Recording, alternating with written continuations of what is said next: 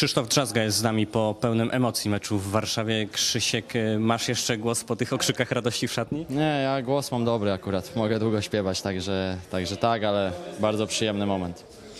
Dużo się działo w tym meczu. Jak byś streścił to spotkanie? Najpierw y, oglądałeś się z perspektywy ławki, ale później wszedłeś na boisko i byłeś jednym z pierwszorzędnych aktorów. No tak, no udało mi się pomóc, y, pomóc golem drużynie, aczkolwiek wszedłem, strzeliłem na 3-1 i myśleliśmy pewnie, że już ten mecz się troszkę uspokoi, a tu dwa rzuty karne.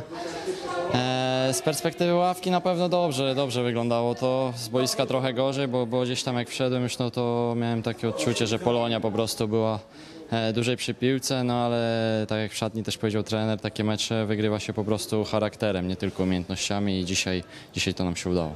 Mówisz o tym charakterze, pokazaliście, że gracie do końca i będziecie grać do końca w Fortuna pierwszej lidze, chyba w każdym meczu, bo nie załamaliście się po tych dwóch gongach. No na pewno, na pewno oddać na wyjeździe e, dwubramkowe prowadzenie nie jest łatwe, nie jest łatwe się z tego dźwignąć, więc myślę, że e, mimo, mimo wielu błędów, które dzisiaj popełniliśmy, takich prostych, to myślę, że nam da to mega mocnego kopa do, do jeszcze, jeszcze cięższej pracy i, i co przełoży się na jeszcze lepsze wyniki.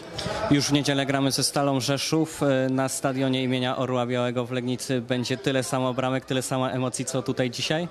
No wolałbym, żeby były cztery dla nas, ale zero dla Stali. Ale tak, tak już całkiem, całkiem poważnie bierzemy też 1-0 w ciemno, bo, bo po prostu chcemy wygrać mecz. Nie, to nie jest tak, że my chcemy, my chcemy takich meczów, bo, bo, bo nie zawsze taki mecz uda się wygrać. No dzisiaj się udało, tak jak powiedziałem, ale, ale na pewno musimy popracować nad, nad kilkoma elementami.